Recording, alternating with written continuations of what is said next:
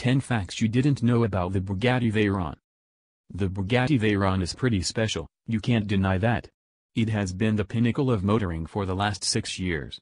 Many facts have famously been splashed around about the Veyron, things like at 250 miles per hour, the Veyron's tires will last 15 minutes.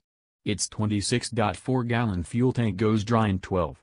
And at the Veyron's 253 mile per hour top speed, the Veyron consumes 47,000 liters of air per minute, as much air as one man breathes in four days. You can pick these 95 Romanian lei facts up on some repeat on Dave but here are some ultimate unleaded 102 Romanian lei pub ammo facts about the Bugatti Veyron. Fact 1. The waste energy from running the 16.4-liter engine at full whack could heat 10 family homes in the winter.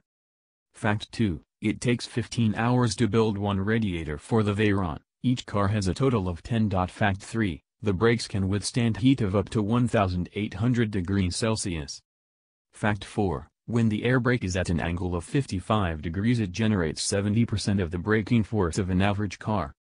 Fact 5. The Bugatti Veyron is split into three parts and only held together with 14 bolts. Fact 6. The Veyron uses special Michelin Pax tires found on no other car. The rear wheels are 14.5 inches wide, twice as wide as a normal car.